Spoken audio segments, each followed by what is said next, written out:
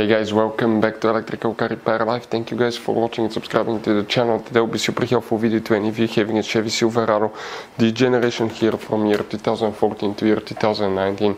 If you need to find where the fuse for the rear sliding power window is located, which fuse you need to check, where you can buy cheap parts, tools, fuses, relays at a good price, quick shipping, that way do not waste money and time. Why guys, it's always a good idea to test fuses and relays, all that will be covered absolutely free for your convenience. Make sure to stay until the end. Before we start, let us tell you a little bit about us guys. Every single car we get here at the garage, we try to make at least 2 to 300 free repair videos. We take them completely apart. We show you how to do, how to fix engines, transmissions, engine codes, engine lights, uh, fuses, all that stuff guys. Why we do all that? Because our mission in the shop is to save you guys as much money as we can. All we need in return, please subscribe to the channel, like the video. That way we can keep providing these videos absolutely free. Now guys, we have more than 14,000 free repair videos on our YouTube channels that can save you thousands of dollars in future repairs. So please check check them out, and they can save you quite a bit quite a bit of money now or in the future. So guys, where you can find the fuse for the rear power sliding window. Now if you need to find a relay, we have the video on our channel as well.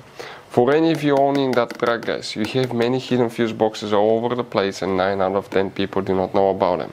We recommend to check out the video on our YouTube channel about fuse box location on Chevy Silverado.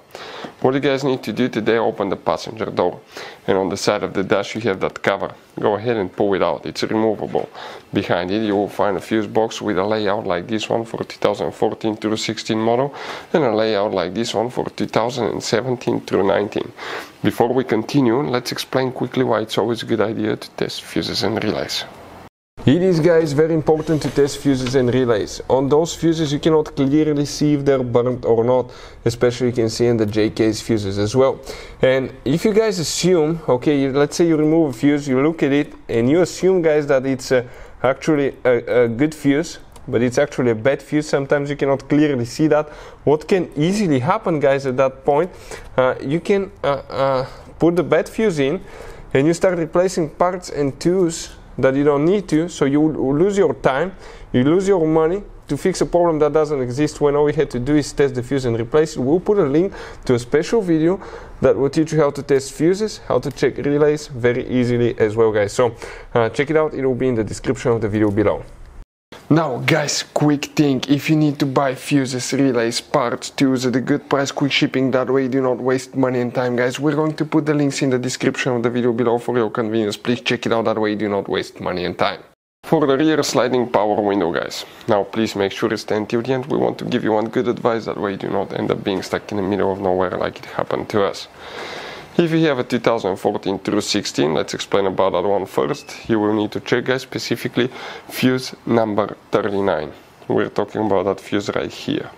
The relays for the rear power sliding window are extremely hidden. Please check out the video on our channel if you need help with that. 2017 through 19 guys, okay? Uh, if you have that option, again, it will be fuse number 39. For any of you having it, it will be right here. That's the one that you will guys need to check. Now guys, you have all kind of different fuses and relays in that Chevy Silverado. You have different fuses, relays that could be really hard to find, especially if you're in the middle of nowhere.